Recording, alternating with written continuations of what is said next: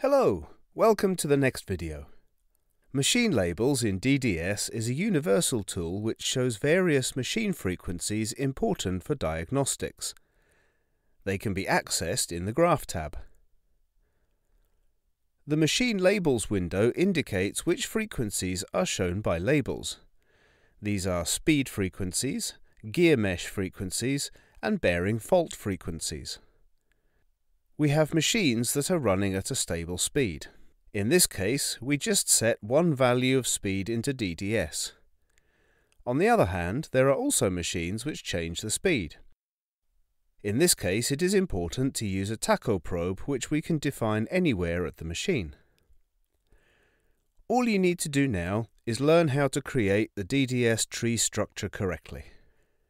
Machine labels are available for spectrum and time signal measurements.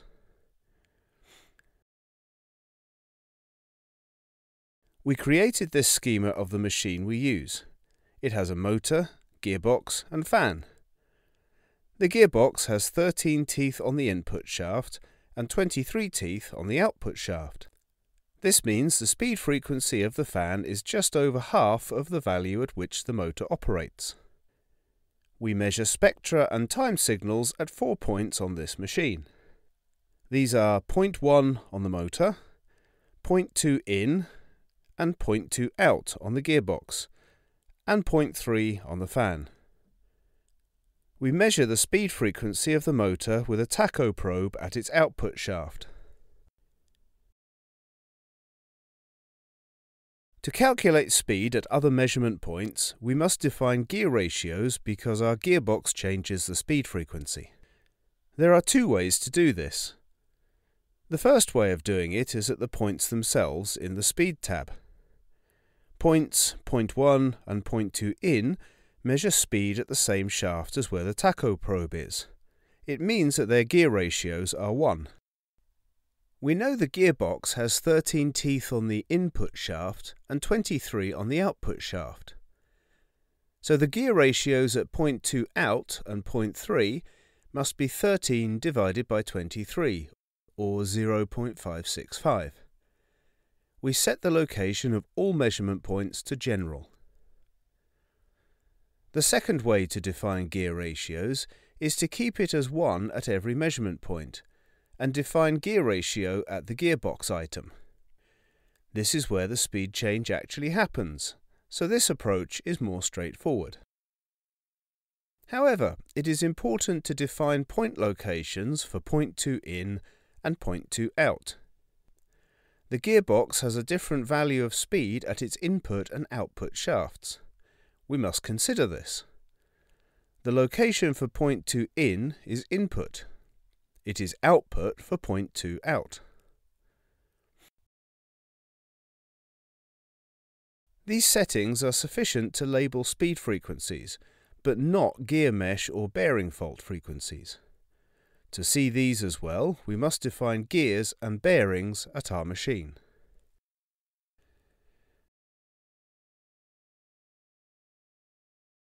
For the gearbox of our machine, we go to the Gears tab add a gear stage, and define the number of input shaft teeth and output shaft teeth there. This skips the need to define gear ratios manually and allows DDS to calculate gear mesh frequencies. Note that if we define gears like this, we must set correct point locations of the points point 2 in and point 2 out. This is because it is no longer possible to set them as input or output. There is now a stage on the gearbox. We must set the point locations to stage 1 input and stage 1 output. A gear mesh frequency can now be labelled in the spectrum. A gearbox may have multiple stages. This is what a machine with a multi-stage gearbox may look like. This is how it is set up in DDS. A stage may be defined by the number of teeth or by the gear ratio. A measurement point may then be defined at any stage of the gearbox. This is done in the Speed tab of Properties.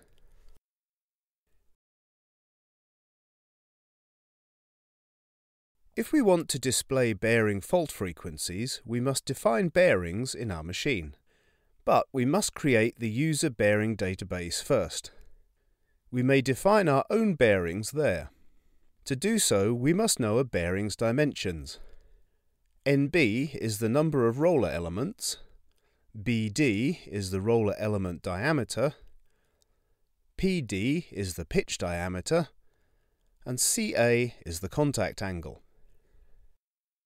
A new bearing may also be defined by coefficients for fault frequencies, where FTF is fundamental train frequency, BSF is ball spin frequency, BPFO is ball pass frequency outer, and BPFI is ball pass frequency inner. If these coefficients are multiplied by speed, we get the frequencies of bearing faults.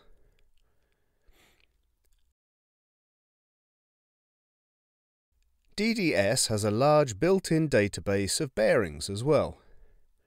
We may import as many of these as we want into the user bearing database. We select the bearings we want and press the Add button. Now we need to define bearings at tree items or points. There are two ways of doing that. The first way is to use the Bearings tab in Properties. The second option is to define bearings at Gears tab. Select the stage and use the Input or Output button to add a bearing from the user bearing database. Let's add a bearing to fan. We access the user bearing database we have set up and add a bearing to the fan. We may redefine which ring of the bearing is fixed.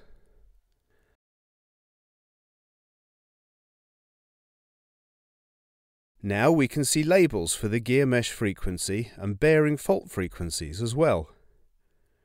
We may also check in the window which specific bearing fault frequencies we want to display or not. If a bearing on the machine is damaged, we may see shocks from bearing faults in the time signal. For example, we display the BPFI. In this case, the bearing's inner race indeed has a fault or faults. This is obvious because the shocks in the graph are perfectly aligned with the periodic cursor showing the BPFI. But if we decide to display other faults, their periods do not align with any shocks in the graph.